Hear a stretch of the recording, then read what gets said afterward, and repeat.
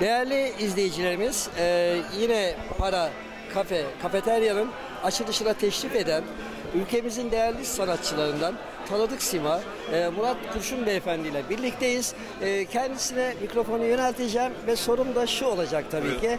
E, Murat Bey, e, işletme sahiplerini e, nereden tanıyorsunuz ve tanışmışsınız? E, ne düzeydedir? Ee, işletme sahibi benim çok eski e, sevdiğim bir kardeşimdir. Ee, zaten kendisinin dü- düğününü ben yapmıştım. Sahnesine ben çıkmıştım. Ee, zaten yıllardır tanışırız. Ayrıca e, Bakırköy'ün en güzel yerinde bir mekanları vardı.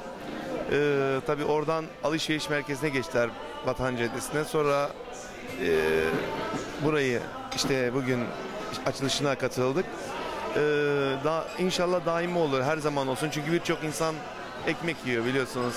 Ee, bu piyasa bu ara çok inanılmaz kötü. Yani bildiğiniz yani e, bütün komşularımız savaş içinde ve mekan açmak çok büyük yani şey ister, yürek ister şu an.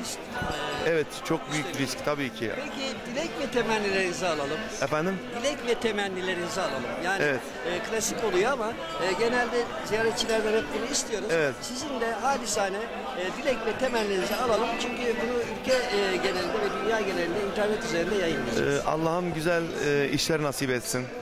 Ee, önce sağlık, ondan sonra güzel işler nasip etsin inşallah. Ee, daimini diliyorum. Biz Beylikdüzü.com.tr Lonca Medya olarak e, size tekrar hoş geldiniz diyoruz.